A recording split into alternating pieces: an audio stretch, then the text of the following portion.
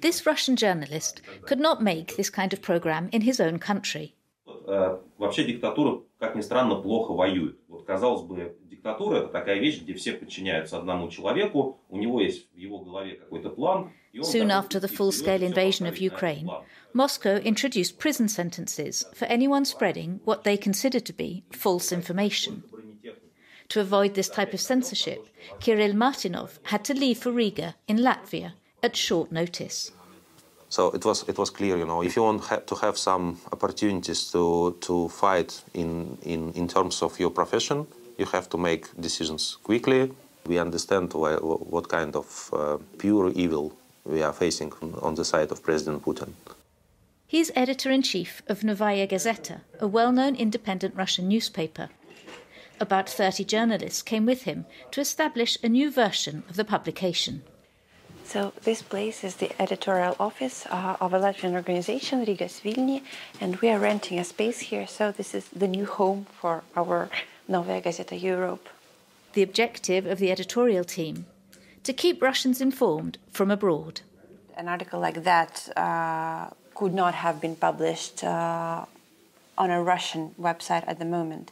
We cannot call this war a war, we need to call it a special military operation. We still have uh, people in Russia who work with us. Of course, we are very careful uh, when dealing with people from Russia. Since the beginning of the Russian invasion in Ukraine, Latvia has granted hundreds of visas to journalists fleeing Russia. Hundreds of Russian intellectuals have also gone into exile. Many of them are now living in Jurmala, west of Riga. Ironically, this seaside town was popular with the Russian elite when Latvia was a Soviet republic. Elena Lukianova has settled full time into her second home. This Russian professor of constitutional law was in shock when the invasion of Ukraine began.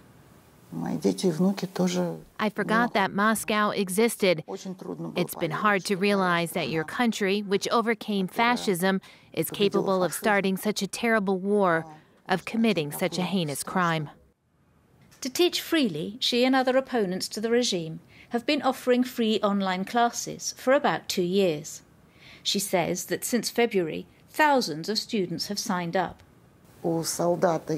A soldier has his gun, a journalist has his pen, a teacher can teach. That is our weapon. Latvia has also welcomed the largest number of Ukrainian refugees in proportion to its own population. Over 45,000 Ukrainians have obtained a visa since February last year, the equivalent of 2.4% of the population. Tonya is one of them. She fled from Odessa with her family last March. She's supporting her country with a local NGO. We are making candles for the army, for Ukrainian. Uh, for this time, we um, made about 40,000. Candles, but also food, medicine, and warm clothes. The association sends several tons of humanitarian boxes every week. By volunteering, Tonya is participating in the war in her own way. Russia and Vladimir Putin, they stole our lives and our future and our plans. He is a very dangerous person, not only for Ukrainian, but all over the world. The association was quick to start supporting both the army and civilians. Yeah. Less than a week after the large scale invasion of Ukraine, they found this warehouse. We don't need that much. Almost one year later, we are here. We need bigger place.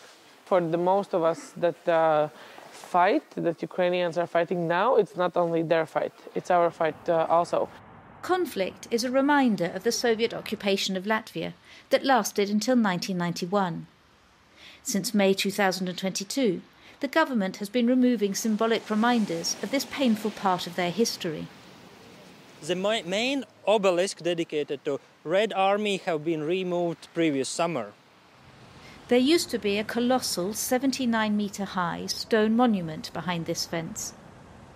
These monuments are not historical, they are ideologically. Russian attack on Kiev cha changed uh, public attention, changed the Western European uh, perception not only of uh, current events but also on uh, Russian narratives. Hundreds of monuments have been torn down throughout the country. Only a few symbols remain, like this hammer and sickle. Few of these symbols in Riga city have remained still, but they are in the uh, process of removal.